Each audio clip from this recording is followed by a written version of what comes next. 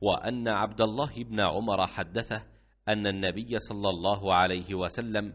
كان ينزل بذي طوى ويبيت حتى يصبح يصلي الصبح حين يقدم مكة ومصلى رسول الله صلى الله عليه وسلم ذلك على أكمة غليظة ليس في المسجد الذي بني ثم ولكن أسفل من ذلك على أكمة غليظة.